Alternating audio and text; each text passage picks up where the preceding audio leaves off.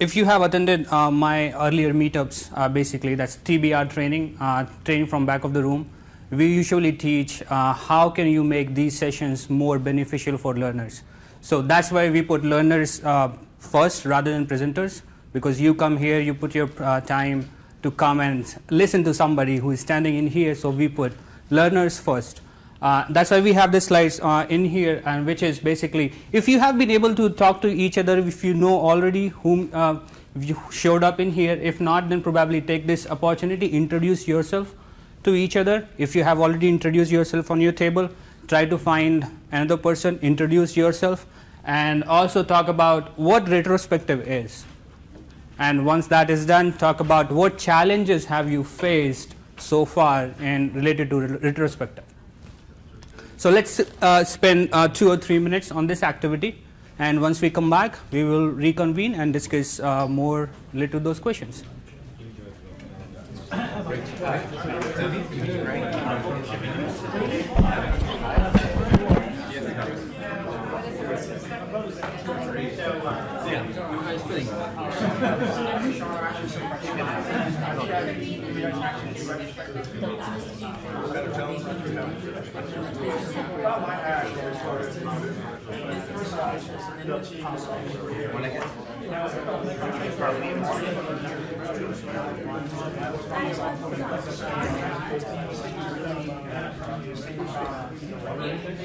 Oh, I have a bottle.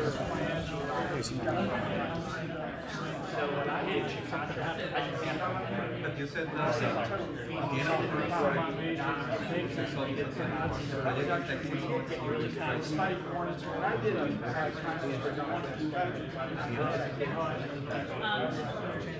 So I said that.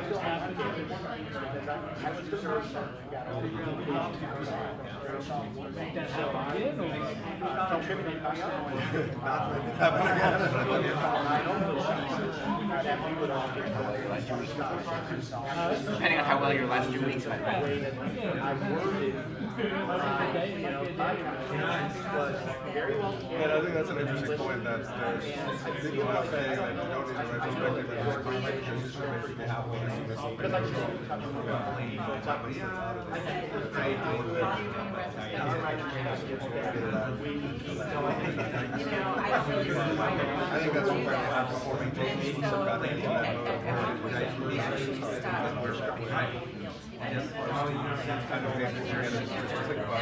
weeks. Which I've been. the think they are they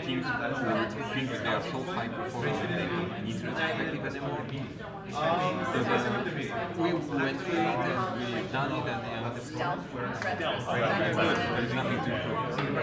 I think a really high performing say that they don't do it regularly.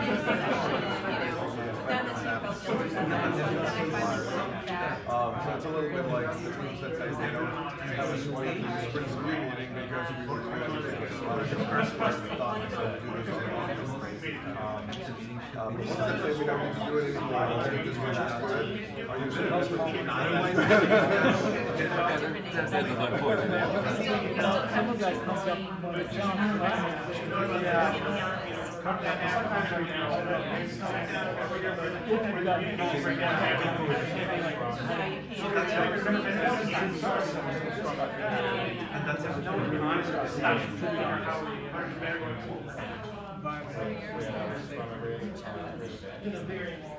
I think our biggest challenge is our team's sort of been working together for most of us have been working together now for over a year. So, you know, every two weeks we've been having retrospectives. You know, place them. And you know, I think people got a little stale. They don't know how to like really shake it up and make it look different or better. It's not that we think we're the best team ever So, as, as uh, I was assuming that everybody knows what this is, uh, let's talk about it. This is a hand signal which is universal. If you go to any Agile conference, you will notice uh, somebody standing at the stage, they will just raise hand, and then you will see a chain reaction all over the conference room. Everybody is raising their hand. That means you're getting somebody's attention. So as a speaker, as a, if you want to utilize this as a facilitator, utilize that. Raise your hand that if one person sees my hand up, he or she will raise hand up and then you will see chain reaction and you will have attention real quick. Within two seconds you will have that attention. So this is what it was. By the way, if you were wondering what I'm doing. Um, so let's move forward, and I hope everybody, uh, you guys have good discussion with, with what retrospective is and what challenges you have faced. So next slide is, let's talk about retrospectives. Can you turn your mic back on? Good. There you go. Okay. How about whatever discussion you had on your table, if you do a little shout out, what retrospective is about? It's about, uh, you know, what went well and what did, how can we improve? Okay. What else? And that's an interesting um, point. Retrospect is about three things which we always talk about. One, what went well, what did not go well, and then what we can improve. Right? So what else? What other things you guys discuss on your table? Inspect and adapt. You need to have some action items of the perspectives. So, so we we get effective. Mm-hmm. Okay. What else? How did we feel about the process? Right, right, right. Uh, not just about the process, but about the people. Right. About what, how can you improve your interaction between the team members? Sure. What else? Right. Change your behavior. Sure. Go ahead. Oh, review team norms and see if there needs to make any adjustments. Uh, Mm-hmm. You had one thing. Yeah, we talked about how they're just for the team. You don't want to have managers um, and other people trying to crowd in because it changes the dynamic. You can't. Mm-hmm, mm-hmm. So if you see on the slide, it says uh, we, this is an event. Retrospective is just an event, right? Which which takes place after an iteration, which gives you an opportunity, which gives your team an opportunity to talk about what they need to change to improve, right? So they basically go and examine, analyze, and identify what went well in their sprint. They can order them out and then pick one, whatever they think they need to improve, right? So if I say, if I can summarize all that in three things, this is what your retrospective is. You have inspect, you have identify, and then you create. You inspect whatever went well in your la- last sprint. Then out of those, you identify which one are the big identifiers for your sprint, and then you try to put them in order. Once they are in order, they try to you try to improve or you try to create a plan. What I need to pick so that I can deliver more value to my customer or to my team. Any questions on that? Anything, anything other than this you guys discuss in, on your table? No. Okay. So how many of us have been in retrospective? Okay. How many of us have led the retrospectives? Perfect. How it feels being a retrospective or leading a retrospective?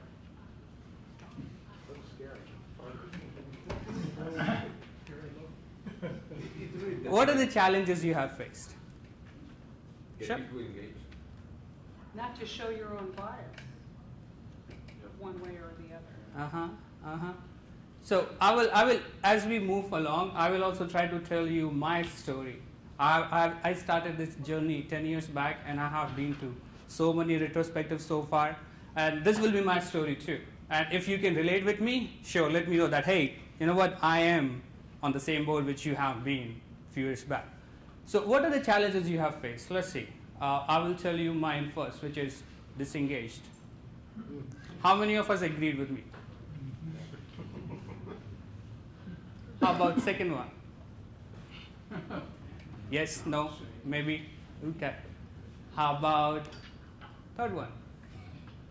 Does that happen? How about this one? Are they? How about this one? Yes? Okay, now this is the big one. Wait for it. Happens? So in, in, in this session, we will be actually trying to understand why this happens. What is the basic reason behind that all team says, hey, no, I don't want to do, we don't want to do retrospective. Why? Because this is a waste of time. I'm not getting any value out of the retrospective. So in this session, we will discuss why that happens. there are basically few uh, what you call root causes which if you want to drill down you can figure out why.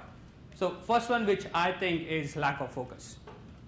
Because as a facilitator we are not able to bring focus to the team that hey this is what you need to do and this is you're not able to do that's why we need to come to our retrospective talk about it second which i think is lack of participation. We are not able to get engagement from the team. What we need to do to get the participation from the team? Other one genuine insight. Buy-in. We are not able to get buy-in from our developers or our team members. Bigger one. There is no follow through after a retrospective when we decide that hey this is what the improvement which we need to do but there is no follow up on that. We don't know. A team team members doesn't know whether whatever we decided in last retrospective are we able to do it or not? Are we able to achieve on that? Where we stand there is no follow up that's why team feels disengaged. Team feels there is no value. It's just waste of time for us. And then this guy. How many of us know what pinky brain is? What is it? Or what uh, reticular activating system what this is. All right we let, let's hear what that is. Anybody you or you? So the reticular activating system comes about like when you're thinking about buying a car and all of a sudden all you see is that model of car. yes that's a nice example.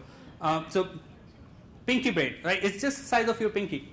And if you put your hand right behind your head that's your pinky brain and this is very small but this does a very important function. What it does is try to minimize the function of your conscious brain. It tells your conscious brain that hey you know what? I got everything.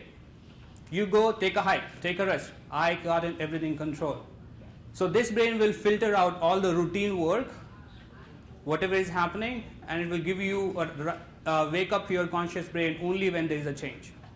So your, your team is if your team is connect coming to retrospective every time and talking about what went well, what did not go well, what to improve with no follow up. This guy will uh, kick in and say, hey, it's routine work. I'm not paying attention. You will get lack of participation. You have disengaged team members. So you have to make sure how can you keep this guy check. Pinky brain. Not, never let this guy kick in and say, hey, you know what, this is routine work. No, take a hike. I got it. So how about how, how many of us you, you guys thinking that this guy this guy is kicking in for you today, right in this session? no? Okay. Well if at all, how about we do a little quick activity to keep this guy in check. Right? So on your table you will see a mug, you will have uh, candies, some candies in there. And this is the activity which we will be doing. The activity name is move me around so this is the start point if you can see and I apologize uh, folks who are joining us on the web you guys will not be able to have fun but you can actually see what's going on. So this is the start we will start from one person pick one person who will be the start and one person who will be at the end and we will start moving one candy from start person to the end person. You can have only one candy in your play. That means if one candy is moving you cannot start another one. So we're moving, are we moving it around the whole table? Yes. Ah. Right? So you will start with the start and then you will end at the end. And you cannot passing it around.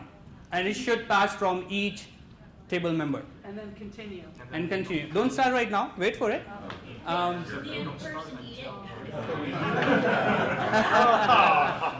um, well, it's up to you. If you want to eat it, you can eat it. If not, then just keep count of it, how many you're moving right? So let's do a check for understanding. What you have to do, you have to move candy or you have to move yourself? Move candy. How many candies you can have in play? One or two or three? One. One. Um, question. Does it have to complete the circle before we start the next one, or can we start the next one as soon as the handoff? Yes, it has to stop at the end before you start the next one. Gotcha. Okay?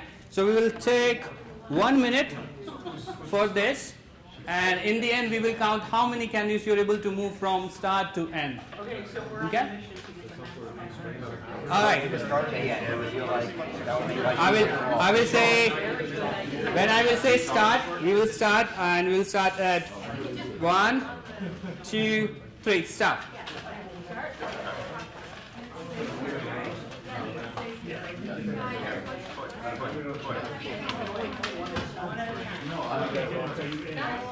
We're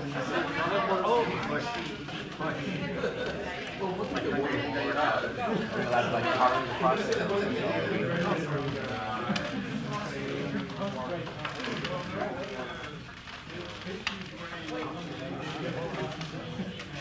Um,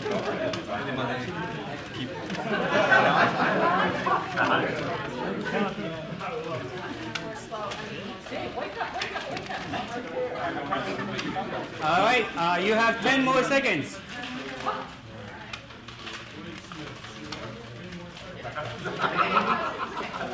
Five, four, three, two, stop. Okay.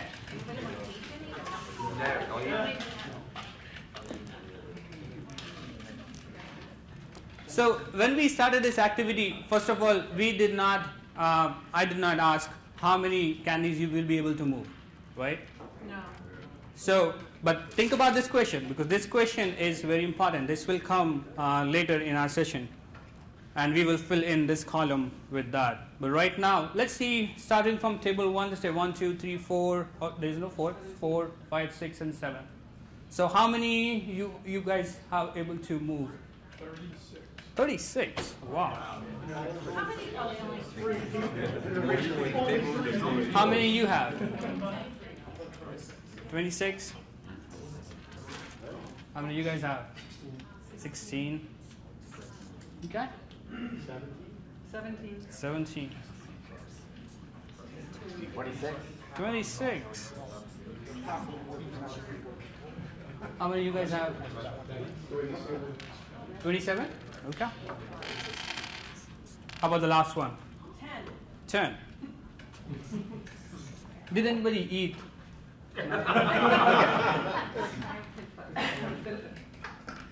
All right. Look at your numbers, right? And these numbers will come in picture uh, once we move to activity two. Sorry. Are we going to divide the number of M&Ms by the number of peop- people at the table to get an average? Uh, Because That's- have more, some people have six. Are there sure. Um, okay. Now you know what? Thanks for asking that question. And before we move forward, I will take one minute and answer that question. I will be a little out of time, but I will answer that question. In retrospective, you know, in retrospective, in my experience, this always comes.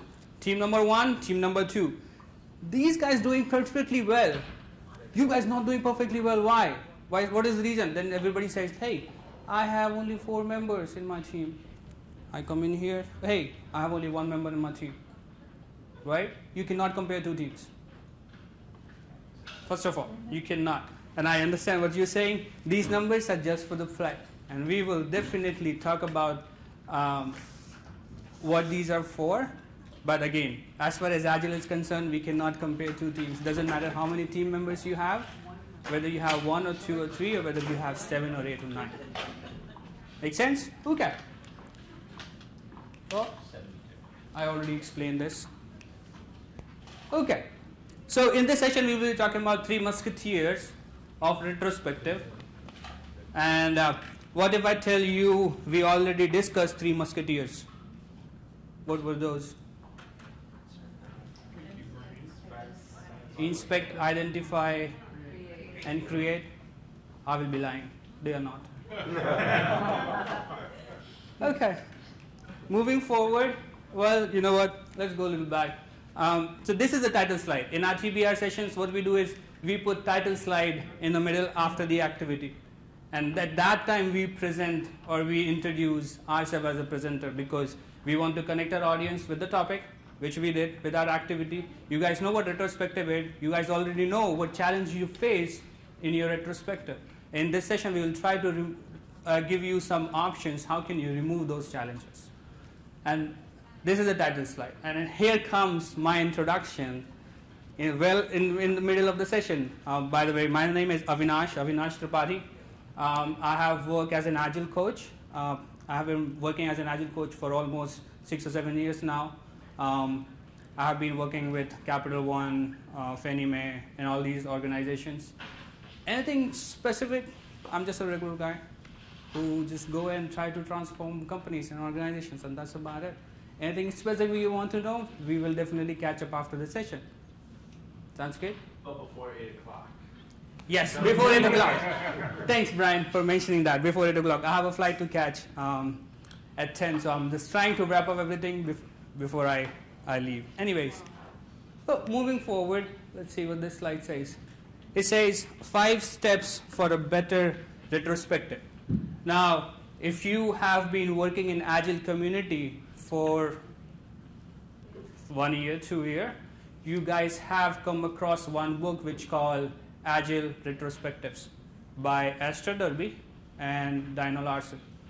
And that book specifically talks about five steps to a better retrospe retrospective. And this is the book. Away tonight. And yes, one lucky member will be getting that book. And we will be talking about this, this, this framework to run your retrospective. And then we will be building or our understanding what I think has improved my retrospective for my teams during the course of my uh, working with different companies. The very first one, which says uh, set the stage.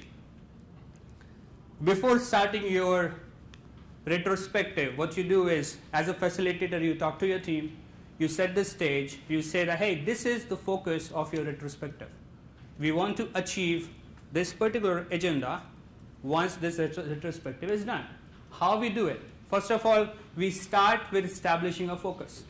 What we want to improve in a retrospective. We want to improve our continuous integration.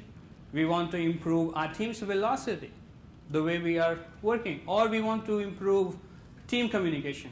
Or we want to improve something else related to people, related to processes, related to automation what you want to achieve after that retrospective.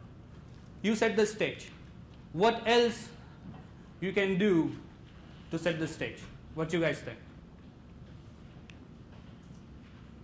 This is one more. Share the plan for your retrospective. How are you gonna have that retrospective running? If you are doing any activity, if you are doing uh, any team building activity in your session, you share that plan with your team. You also share if you want to revisit your working agreements, if you want to change your stand-up time, if you want to change your uh, retrospective time, if you need to revisit your working agreements, you do that, set the stage. The other thing, the second step is gather the data. And we all know how important this is. Whenever we talk to the team, we say, hey, you know what?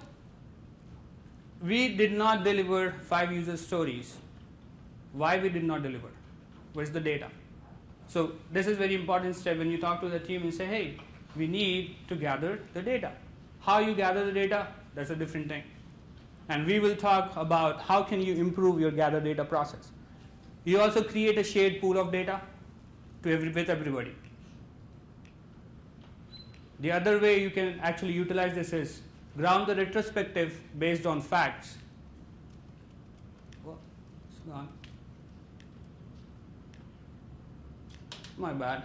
I clicked the wrong button. Well, while you're clicking on that too, I'll even uh, chime in just on the set the stage thing, which I think, uh, successful for, for my side, is the working agreements, you know, about when we meet and that stuff, but also what's more powerful to me is the fact that we've agreed that we're going to be very short to the point, or very, we keep it simple, um, we stay present in our meetings, so we don't bring out our phones. Uh, we don't, so we want engagement, and, and that's time to kind of go, hey, let's look at our agreements again. Are we still in agreement that this is what we think if we do these things, we're going to have successful meetings? That's a good time, I think, to do that. And not to then point at anybody that shows up late to something, but we all said we're going to be punctual. Is that still something what we hold valuable as a team? And kind of keep everybody accountable, but just reflecting on that Mhm, working agreement. mhm. Not just the stand-up times, but what we as a team hold valuable together. Right. And uh, as I was saying, uh, the gather the data phase, you can also ground your retrospective based on facts, not opinion. Don't just get somebody's opinion because one person is allowed in your team and he's just saying something and you base your uh, judgment based on that opinion. Don't, don't, don't try to do that. Try to have some facts from the team member and listen to everybody, not just one person. What the other thing is consider objectives, not subjective experiences. The third stage which we have is generate insight. Now, whatever data you have gathered in your step number two, you generate insight on it. Now, to give you an example, if you have 17, or maybe let's say, if you have 36 stories which you guys committed to deliver within a sprint, and you delivered only 26, now 10 not able to. So in generate insight, in gather data, you already gathered the data that hey, 10 stories we are not able to. Generate insight will come in picture and say, hey, okay, why we are not able to? Let's talk about that.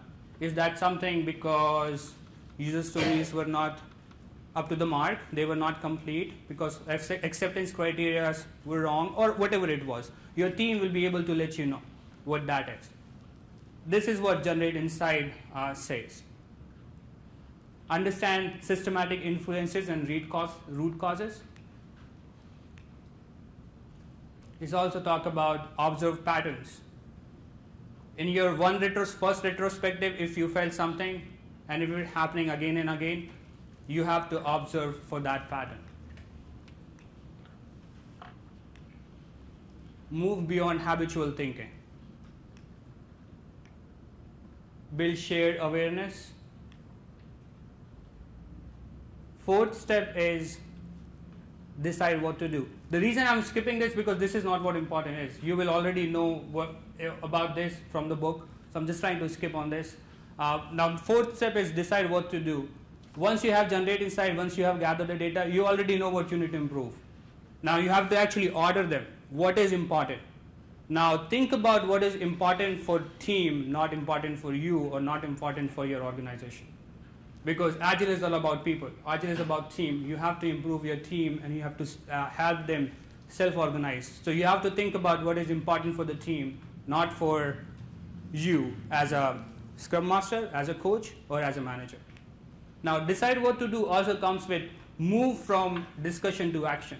You have already discussed in set the stage, gather the data, and generate insight. In this section, you go and actually go do action. You try to figure out what I need to do to actually able to figure out how can we improve our team. And decide what to do, you also agree on one or two improvements. You do not agree on 10 improvements. Not anybody can do that. You agree on only one or two improvements. Maximum two. At least one, but maximum two. Otherwise, you will not be able to accomplish. And there is a famous saying you try to catch two rabbits, you will not be able to catch anyone. Right? Any question? Okay. Yeah, uh, who owns the actions? What's that? Who typically owns the action? Team. Not the Scrum Master. okay, and focus on what team can accomplish. As I already said, we focus on what team wants to achieve, not what you want to achieve as an organization. Sure. So, can Yeah, yeah. How, how would you handle this when uh, this is a typical uh, that came up in, in my team's retrospectives? We're not getting what we expect from them. Um, either it's incomplete, they don't have the right people identified, um, wrong time frame, so listen, they need to do better. They're holding us up. Mm-hmm. So now we, we've identified, we've got faulty work requests. Okay, what happens then? So um, maybe I'll try to rephrase the question. You're asking is so we have one team, and one team is not able to deliver because this team has a dependency on some other team. Is, is that what you're asking? Yeah. So usually uh, the way I will answer that, and Brian, uh, help me out in here if, if at all you have any exa- good example for these, these folks. Um, as a Scrum Master, it will be Scrum Master responsibility to figure out whatever happening in the team, first of all. These dependencies should have been sorted out before we started the sprint. Because when we say, hey, we have a user story, and before we start working on it, we have this dependency. Now, those agreements needs to be finalized before we start. We have to talk to the other team that, hey, if at all you guys want us to deliver this user story, we need to sort this dependency out. Who, who has to talk to the other team? It's team's responsibility to make sure. Now, it's Scrum Master's responsibility also to follow up on that dependency. You understand the point? Or maybe you and I can sync up after the session. Yeah, there's probably some contextual stuff that's important Yeah, to yeah. understand, but yeah, I, I think Nash has given a good, um, example to, yeah, what I think of is like the definition of ready that you can establish as a team, know that if you have a dependency, if they're not part of your sprint planning meeting to understand what their capacity level is for that given team that you're dependent on, you shouldn't even take that story on because the team's not gonna be available to work with you. And then there could be other organizational things that, yeah, the Scrum Master's gotta jump in and raise it up a level and go, that team is context switch across the whole organization and not available to any one team like we need them. So we need to kind of take stuff off of that other team's plate. I mean, there's just all kinds of different nuances even that can factor in. That, yeah, definitely an offline is better. Cool. I'll shut up. Ask a question. Oh, sure. Um, So you're doing a retrospective and on what to do. For how long do you execute an actual items? How long? Okay. So thanks for bringing it up. All the retrospective which we have done is basically time box, right? Everybody knows. Now, how that time box is uh, framed depending on how long your sprints are. Basically, for two weeks sprint, we try to fix in, in one hour. That's the time box. Now, if you have one month long uh, sprint or iteration, you try to have that for three hours or four hours, it depending what you want to achieve. Now, how long you want to do it, you have to f- have the, all these five steps within one hour for two week long iteration. As a Scrum Master, as a coach, you have to figure out these uh, facilitations for these steps. I guess the reason I asked, um, some things you want to introduce to a team do not stick the sprint. It could be a habit that takes time to be part of the team. So after the first sprint, it's still going to be an issue. Mhm. So will another retro be sufficient to up this issue again? Right, so that, that's where the facilitation techniques comes. And if you read that book, which Brian will actually give away, uh, it, it will actually tell you all the facilitation techniques.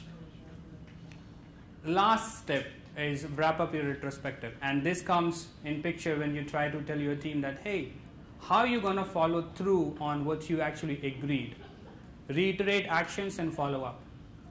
Whatever you discussed in set the stage, gather data, generate insight, and decide what to do. When you have decided that this is the topic or this is the thing which you're going to take up for improvement, in wrap up retrospective, you will reiterate the actions and you will also let them know that, hey, this is how we're going to follow up on this. So that everybody knows in the team that we actually improved something. If at all we did not, there will be a learning. When we go to next sprint's retrospective, we will talk about that learning. And as an agile coach, as a scrum master, is it is our responsibility to let the team know that failure is nothing. If at all you fail, that's okay. There are only two outcomes. If you succeed, that means you're able to achieve what you want to achieve. If you fail, that means you actually learn one way, which the way you don't have to approach your solution, right? You have remaining ways too.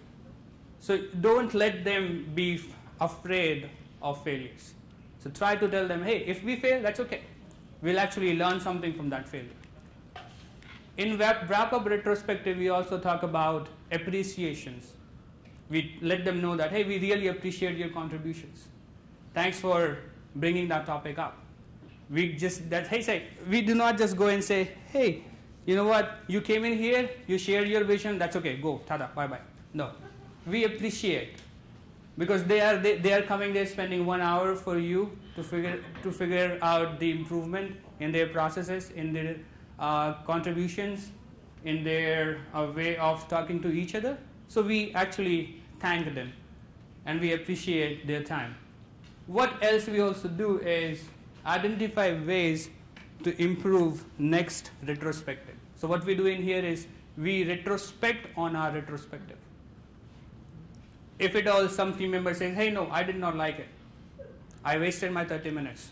Why? Because I already know all this. Why we are discussing it? So talk to them and figure out how can we improve or utilize that one hour they are sitting with you so that they can get value, more value, retrospective after retrospective. Anybody's pinky brain kicking in? No? Okay. So, so far um, in my career, I have actually faced little difficulty with two stages, which is set the stage and gather the data. And I, I always feel that when I tell team that, hey, this is what I want to achieve after the retrospective, and then team will say, yeah, I understand you want to achieve, but not we want to achieve, right? You will hear that here and there. And then gather data. What we should gather? What value I will get if I gather this data? Velocity is one. Then we have commitment is another one. So you can measure so many things, but are we are you getting value after gathering that data or not? That is the biggest question which you will have to ask yourself. And then question comes, how? How I want to set this stage so that team will think that whatever I'm telling is for their benefit, not for my benefit. And if at all I'm gathering a data, what data I need to gather? Whether it's a measurement of something or whether it's a metric you will have that question coming around whether I'm measuring something or I'm creating a metric. I'm creating a metric for my team or I'm creating a metric for the management. You will always hear that question. So you ask your team members what you want as a measurement. Now, the three, um, three musketeers which we will talk about is basically on gather data. And we will also cover what measurement is and what metric is. So how about if I tell you this picture and let's see if you can identify the difference. Do you guys agree with this?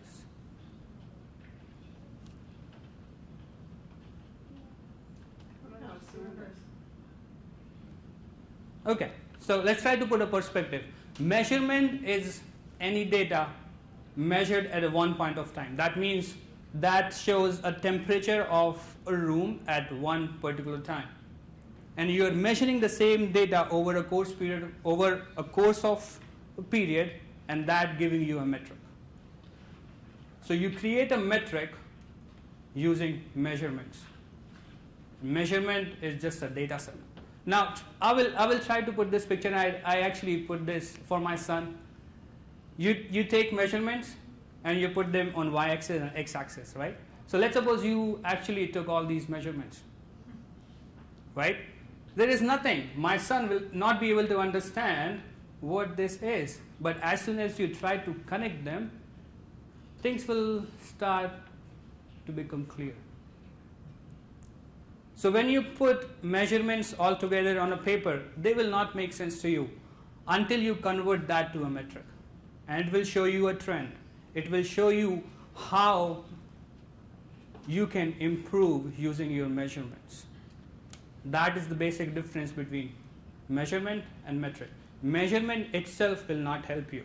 You will be able to compare two measurements side by side, but if you want to see the trend, you have to put them in a metric.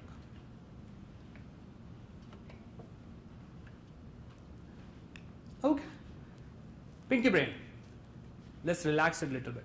We'll do the same exercise again. But before we do that, we will hear the commitments. So considering your experience, what you achieved, what do you think? How many you can? How many gems or candies you can move this time? Are the rules the same? I see. I see so many questions. Okay, that's good. So all you have to do, we will be doing the same thing. You have to move around candy from one person to another person, start person, end person, and we will be in the end we will be counting how many candies you are able to move. Everything is same, but we just need the commitment. What you guys think you can actually move based on your experience. So let's start with table number one. What you guys think? All right, everybody. Everybody.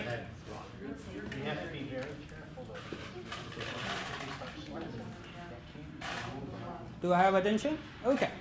Perfect. Let's hear the commitments from each table, right? Okay. Let's see, start with table number one. You're saying 36? 36? Okay. How about, how about table number two? 30.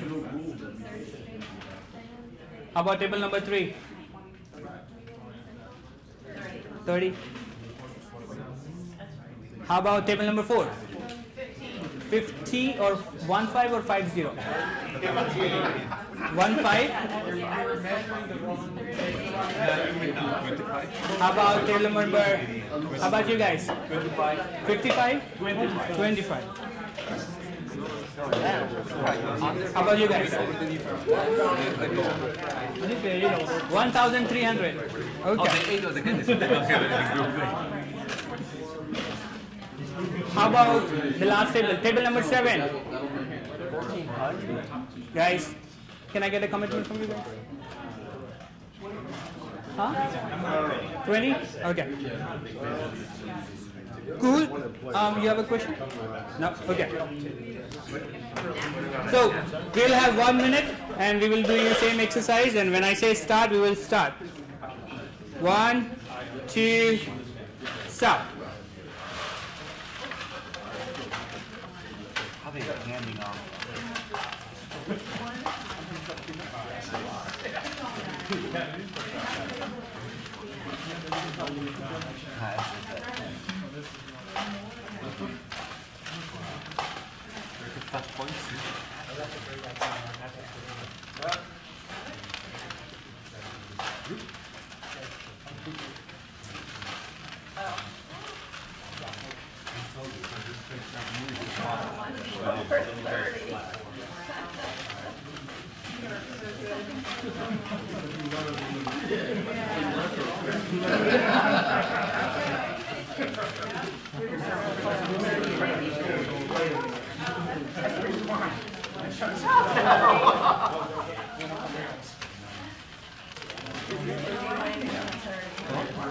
That's an impediment.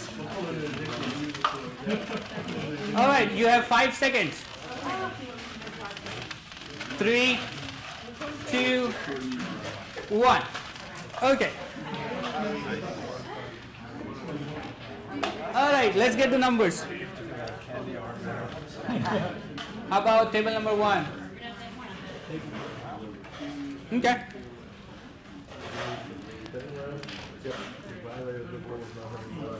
Anybody counted? How many? 34? Thirty-four. Okay.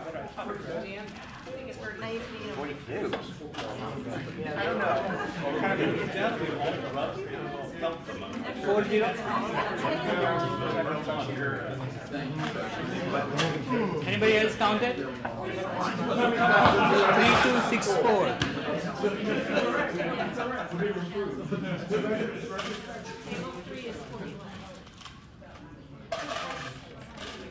We hit twenty-seven. Forty-two? Forty-two.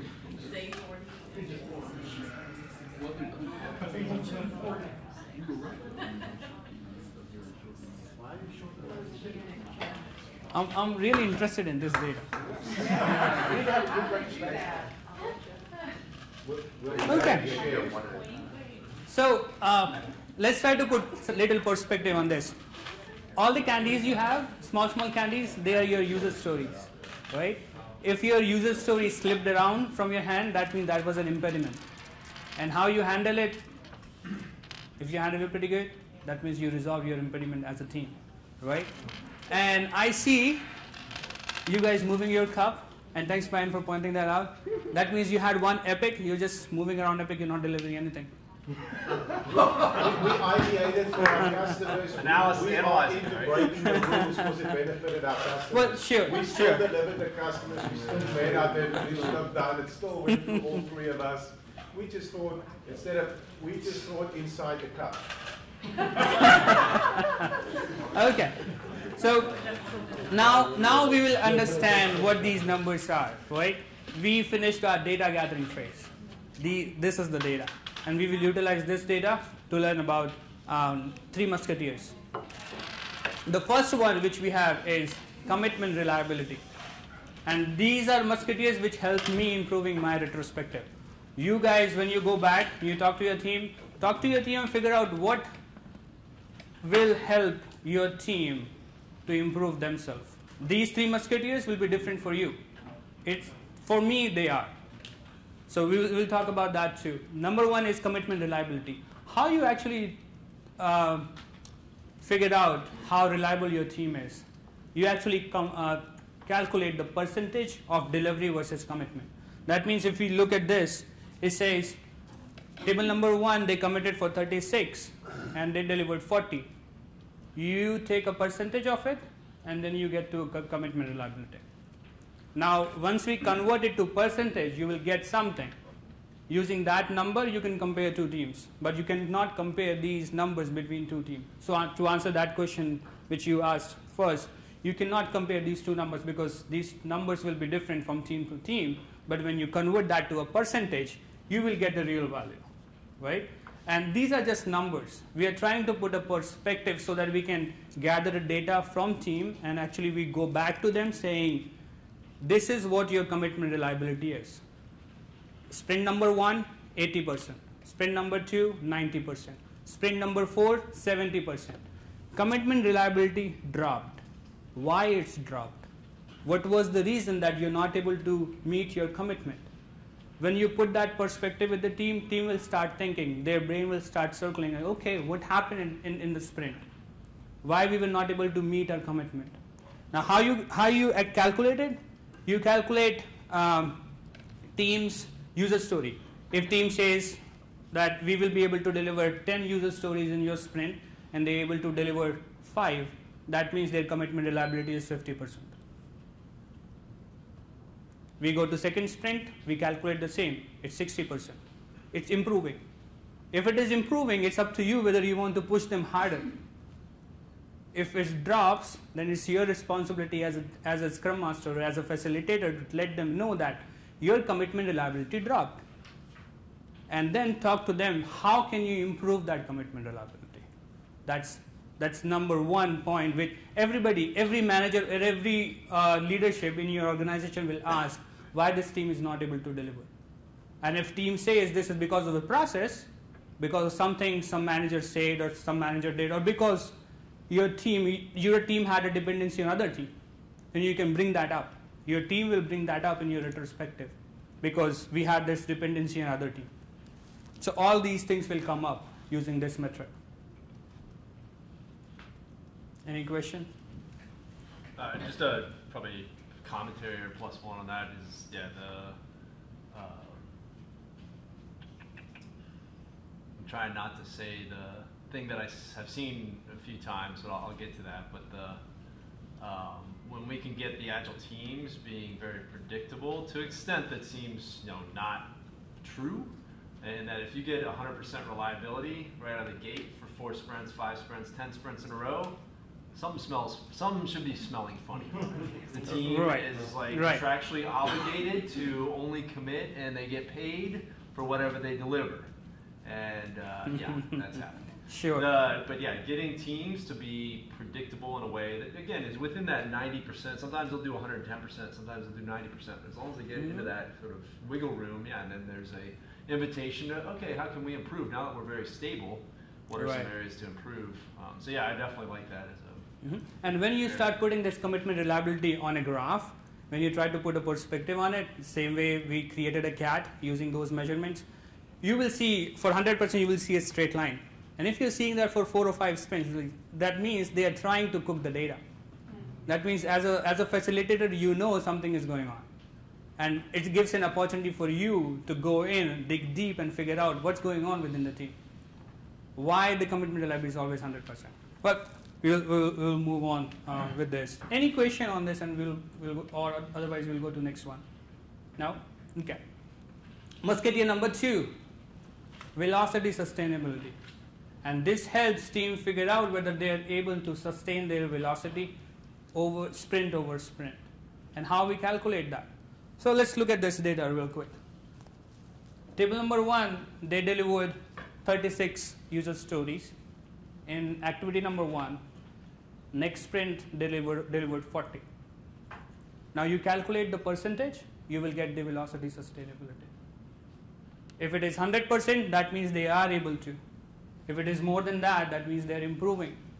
If it is less than that, that means team have. You've only got two data points though. I would advocate that you get about six to eight before you start talking about sustainable velocity. Mm, say that one more time. You've only got two data points. Mhm. I would not call that velocity at all. I would say go for six to eight data points, and then you can start talking about sustainability. Just saying that the just having two data points Yeah, probably doesn't give you a very accurate reflection of what the team's consistent velocity is. So having six sprints in a row, then you've got a little bit more consistent number that you could Right. if you do that sustainability measure, right, William? Yeah, yeah, two is way too early to do that. You're gonna get, management will hop on you on the third one, because all of a sudden things went south, and your team is still forming. Just say, Um, no, no, no, no. That that's a good point. And maybe I was just trying to think, uh, how can I word it in a different way? Velocity sustainability, the way it is right now, it just tells you whether you are able to sustain your velocity what you had in your last sprint.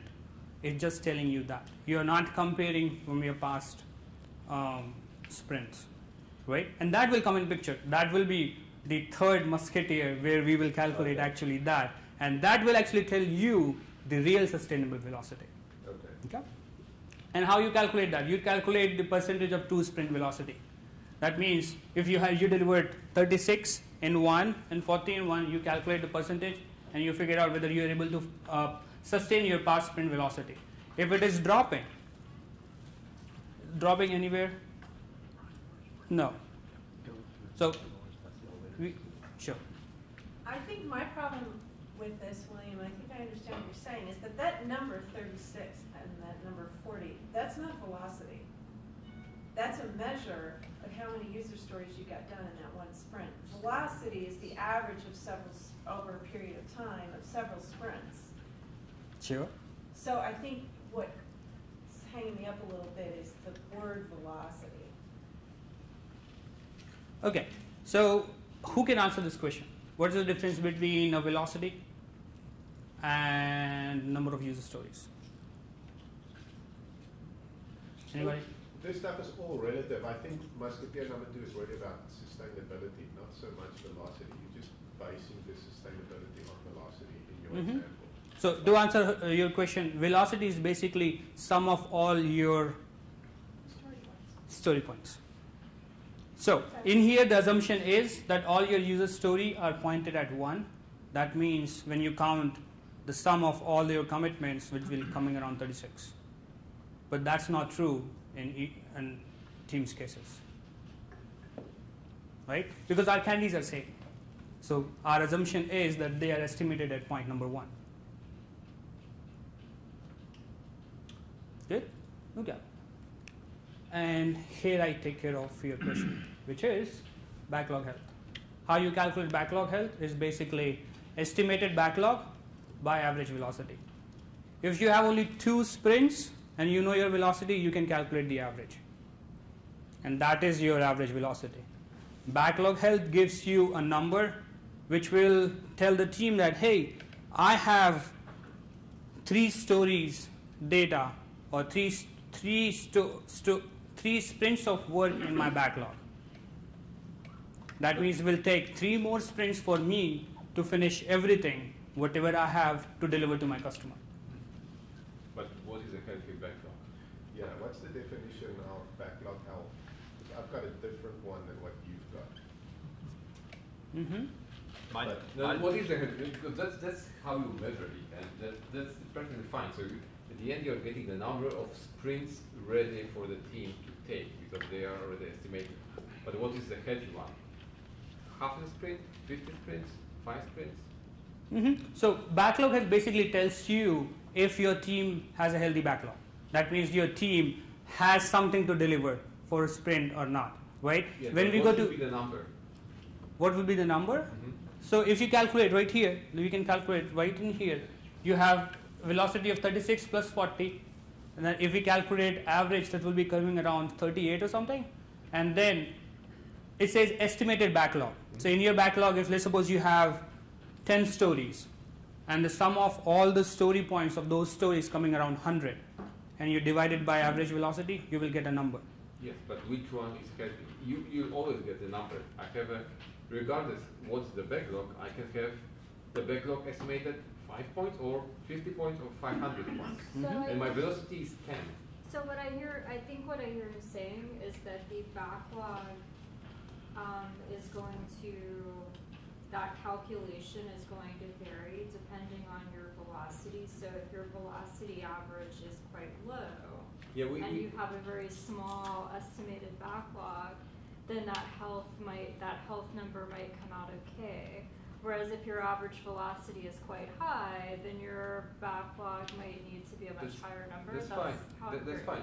We know how to calculate it, but what, what it means that it's healthy. I have 50 bucks, let's say. Is it enough or not enough? So what, what, what this actually tells you, and the number actually will give you how many more sprints your team will take to finish your backlog. So that's that number gives you. Yes, It's coming out only to a how- number, though. To your point, it's coming out only to a number, Yeah, not but to. what, what do you mean that it is healthy? Right. Like, what should be the number? Oh, maybe that's the question. What should be the number? I don't think it What- is, it's, I don't think it is, right, you're looking for the- this to tell you whether your backlog is healthy or not. Yeah. What this is telling you is when you'll be completed with your backlog. What does It's a healthy Okay. health? No, I think I think I will I will take care of that question. The, que- what you're asking is depending on your organization, how your organization define healthy, That's what I'm asking. right? In my uh, point of view, I would say if a team has this number coming at coming to be two, that means their backlog is healthy. That means they are not actually planning ahead more than two sprints. They are only planning for two sprints and that's it. They are going to their grooming sessions. They are talking about stories and they are regularly estimating those story, stories and they are committing. They are pointing it out. And once you calculate this number, that means it comes to be two, it's healthy. If it comes to be one, it's not healthy. It depends how you, as an organization, define what it could be. And that will be same for other uh, musketeers too. It will be same for velocity sustainability. It will be same for commitment reliability. How you define, because for some team, their commitment reliability come as 120%. Is that healthy for your team? No, because they are delivering more than what they committed. That means some pressure is coming to them from management that hey, deliver more stories. Why that is happening? So you need to talk about that. You need to define those control checks. Whether 20% is up, 20% down is your control, or for backlog health, if it is two, it is three, you have to define that. And it matters from team to team. Yeah, that's, I, you, I think now, got it, uh, as far as like the graphical picture that I was putting up, this is like five, like I've got a backlog estimated down, you know, deep, however many stories, but I have hundred points worth of estimated work. Team's chunking away at twenty points per sprint, five. That's typically, yeah, I, I would agree, it's, it, to me, two to three is a good, healthy backlog to where I'm not too far in front of the team, so I'm not having the team do all this work to estimate it, when the priorities could change. So you've estimated all this stuff, and now it's like, oh, users now want this. It's like, oh, throw all that stuff away or you know, reprioritize it down the backlog. So yeah, it's definitely organizationally. Some organizations may want it to be at five so they can do big upfront planning and throw out a like six month you know Gantt chart that says here's what we're the team's gonna do. It's like okay, fine. But yeah, two to three is certainly where I would you know, want to see this team. Sixty points would be Mhm. good enough to just stay in front of them so that you've got good, solid definition of ready, sort of sprintable stories, the development ready stories. Yeah, that was it. Just grab Cool. So, So, Hi. wait, wait, go ahead, I have a question on that.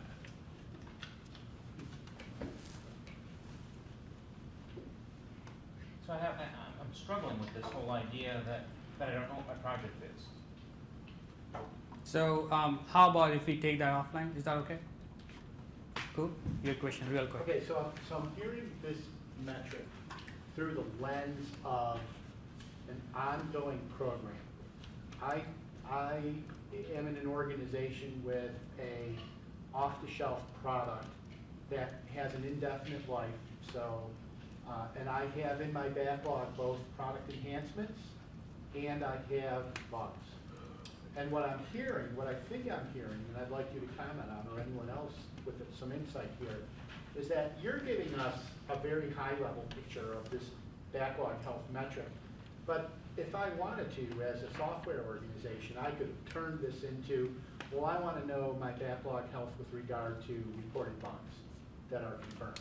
And so what I might do in that case is, I want to know what the health is there, so I want to take an average of how many bugs is my team actually correcting per sprint. And I'm going to use the denominator, not the total number of stories, but I'm just going to take the bug cases, for Mhm. example. So that there's really a lot of different things I can do with this statistics to measure my health in a Mhm. number of different ways. Right, and as I said, we started this session. These are my point of views, Right, right? right. And you can use these statistics to improve your teams Right. in your organization in totally different way. Right. It's it's all about how you want to interpret that data and how you want to interpret the metric. You can definitely change this the way you work, right? I have a question, Ash. So, I mean, um, I'm not a developer. So when I look at backlog health five, I'm thinking, oh, that's ten weeks worth of work. That's not even three months worth of work. As a line of sight in terms of resources and commitments and output, that's reasonable. It's actually kind of fast, right? Mhm. So two weeks is, is that, um, really just to, um, to look at what this development team can, can, a, a backlog of a health of number of two, I'm sorry, is really the development team heads down focused on basically one month's worth of work at a time. That's it, right? But once you start to back off a little bit and you look at the project, the development, um, eh, like the bigger, uh, product or whatever it is you're developing, um, that's not unreasonable, I think. Mm, that is true. Right? I mean, as a company, Mhm. development organization, you wanna have a line of sight that's longer than a month. Right, right. it- but- The, For the, resources, for. the other, the Yes other, and no. Yeah. Because you, when Right, you are yeah. talking Oh, about for worker bees, for the developers. No, I'm talking from leadership perspective. Okay. I don't want my people to waste time on something they might work three months from now Mhm. if next week I will change their priorities. Yes, but that's part of the grooming, the prioritization. Yes, so, Okay. so we are talking about the, what, whatever is estimated, it's what is groomed. Right. So you don't have to, you don't want to groom too much.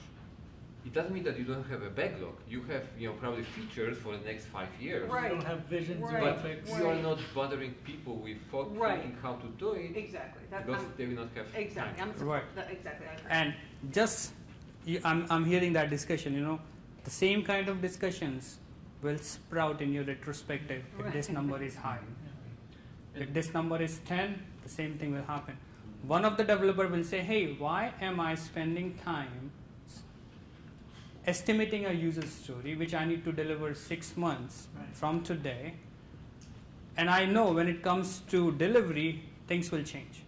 I'm Why, as a developer, I think am. they're not mutually exclusive. Mhm. These are not mutually exclusive perspectives. I think there's the part that you're focused and putting resources on, and then there's a part of the planning Yeah, part, if you planning and estimating are different. Mhm. Yeah. And there's Cool. you know, one, one last So- tidbit to give you probably a takeaway that there are definitely techniques you can use that are lightweight that can estimate your backlog a little bit farther down the road, but looking at very coarse like epic level sizing and say, yeah, we've got 300 points worth of stuff to do in the next six months because we've looked at these six big epics and Right. the team's been able to kind of size them. If that's important to you to know that, spend a little bit of time, but you don't have to spend weeks on it. You can spend an hour, two hours in a workshop and go, all right, cool, we got our estimate, move on. Right. You don't have them, they're not sprintable, right? You haven't broken them down and really groomed them, but Right. there's lightweight techniques for solving that kind of thing, if that's All right. important you.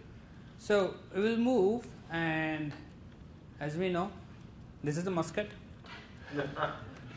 and The musketeers. the musketeer who's holding this musket is velocity sustainability, right? And we talked about that. We have second mus- musket, and it is holded by commitment reliability, and we have third one, which is backlog health. And we have heard about star model of retrospective, right? You can utilize that with these musketeers, and in your retrospective, we can actually talk about what this team needs to start doing to improve. What this team need to keep doing what they're doing to improve. what they need to stop doing to improve. what they need to do more of, what they need to do less of, and in every retrospective something shows up and says, hey, no, I don't think we have enough data to say this will improve. You can put that in parking lot and have discussion in your next retrospective, whether that is helping you or not. So in here I conclude you have three musketeers to help your retrospective. You have velocity sustainability, you have commitment reliability, you have backlog health. You can use this data as your gather data, uh, the second stage for a better retrospective. You can gather this data, you can set the stage, what you want to improve. You want to improve your commitment reliability, you want to improve your velocity, or you want to improve something else, not related to your musketeers. And then based on that, you already have a data. You can generate insight on how you need to improve, what you need to improve, why you need to improve. And then you can decide what actually you need to do based on this model. So in that case, I would say thank you so much for having me. Thanks for listening to me. And thanks for the invite, Brian. And thanks, Excella Consulting, for actually letting me speak in front of you. Thank you so much. Really, the uh, floor is yours for another 10 minutes for uh, any questions, comments, thoughts. I'll make sure you get out of here at 8. Oh, yeah. All right. So for this, um, obviously you spent an hour with us talking to us and you were sourcing Scrum background. For an organizational perspective, is this something you would do like for individual retrospective to explain to people, yeah, we're to do a full retrospective, but we're aiming at this reliability, loss of sustainability, and backlog health. Is that something you would tell your team that can you kind of get your goals to orient to increasing all of these things? Mm-hmm. So as a facilitator, you actually working with the team all along the sprint, right? And you observe certain things. And in, in your retrospective, you go and tell, okay, if you want to improve, you already have some ideas because you are the facilitator. You put that up front with the team and you set the stage. Now you gather that information from the team too. What actually they want to improve, whether they want to improve their velocity, whether they want to improve their commitment, or they want to improve something else totally. So you do have to do that every retrospective, and you have to generate insight from the team and figure out what is important for them. So you can't let them, don't let them hook by saying, hey, it won't make us happy, oh, more beer at work. Well, how does that improve on these three things? How about punctuality? Okay, well, that might not Yeah, be philosophy. yeah. I bet these things will come up. The Yeah. come up so Somebody will say, "Hey, no, I'm not happy. What we need to do to be happy? We need we need beer right next to my table, or we need something else. We need more candy. We need breakfast every day. Things will come up." Less of Brian talking. okay. Any other question I can answer?